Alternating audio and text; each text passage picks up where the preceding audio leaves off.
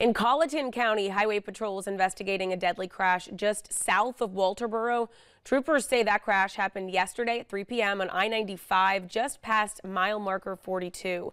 According to Highway Patrol, a truck went off the left side of the road and hit a tree. The driver was taken to the hospital. The passenger was killed in the crash. The Colleton County Coroner's Office has not released the name of that victim either.